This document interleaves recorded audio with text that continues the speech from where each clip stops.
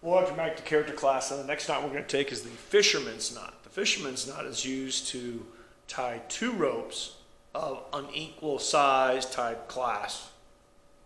This is the one that you want to use the most uh, out of when you're in emergency and you're just scraping together ropes. You don't know where it's going to come from, you know, what you're going to be able to do. And if you are leaning towards a square knot, always remember a square knot is one that you would tie two ropes of the same size, class, and type. So the fisherman's knot is something you're going to probably really want to master. Now, having that, it's a little more difficult. It's sort of considered an advanced knot, and that's why we're going to do it early so you guys can practice it. Now, when I do the fisherman's knot, I make sure that I have a lot, a lot more ends to work with. So I'll give myself two or three feet because we will tie it off with a half hitch. Now, on a fisherman's knot, the first thing we do is we put one rope over the other.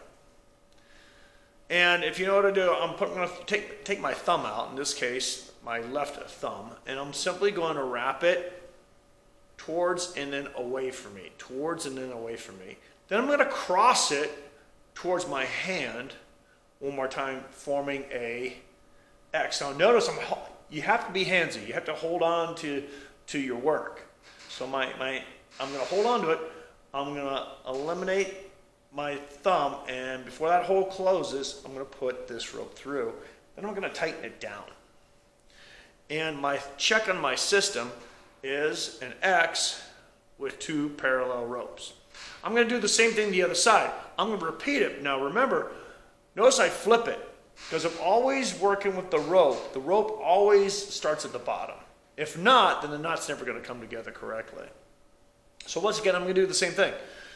I'm going to bring it towards me. Then I'm going to bring it towards my hand, making that X. I'm going to get handsy and hold it. And then I'm going to put it through. And then I'm going to tighten it down. I got to get handsy again and tighten it down. Now notice I've got two of these, these bites. And I'm going to simply bring it together. When I bring it together, on one side I get four parallel uh, bites, if you will. On the other side, I get two X's. Notice the X's are snug. They're not snug, if they're maybe facing opposite, that means somewhere along the knots you didn't cross it correctly or you didn't turn over your uh, working end like I did. Now, the final portion is to go ahead and do half hitches. Remember, go always go around your running ends and get handsy with it and do the same for your other side. And that is a fisherman's knot with two half hitches. And that's what you want to do. Now, I'll show it to you one more time from the side angle so you can see what we got to do. And remember, this knot is to tie ropes of unequal type class length, or not just length, but the size of the rope. So ropes that just simply don't go together is what you want to use with this one and it will secure it. Um, in class, I will demonstrate, if I haven't already, to you what happens when you use a square knot to tie ropes that are not the same.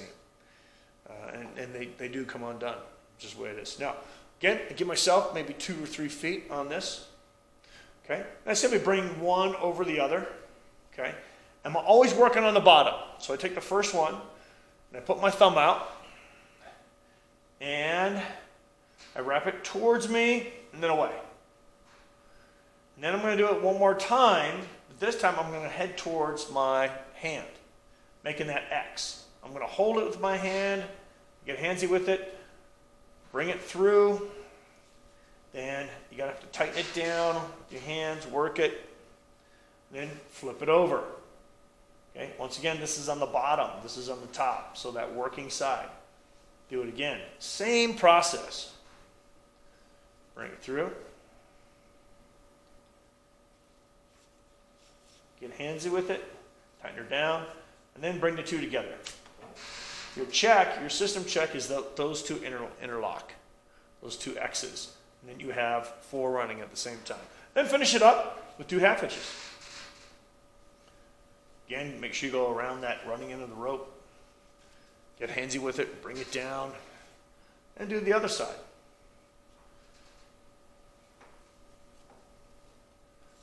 That down as well.